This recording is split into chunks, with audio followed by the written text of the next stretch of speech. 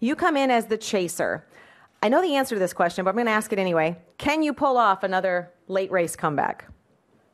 Yeah, I definitely think it's it's possible. Um, you look at our um, bad luck last weekend. You know, there's still a race here, and, and there's still hard tires on these race cars, and something can happen there. There's still a lot of very uh, tough competition on the track.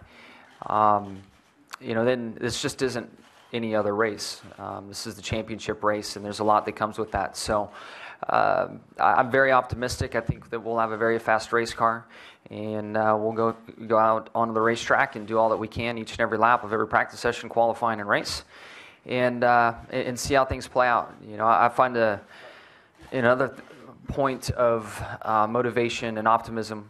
You know, we look at the IndyCar Championship and how it unfolded it, at Fontana. Um, it seemed like it was a layup race, and you know things can happen. This is racing, so um, I think either way we'll be in good shape. We'll uh, we'll have a fast race car and go out and race hard, and then if you know some luck comes our way, we'll hopefully be um, you know ready to capitalize on that as well.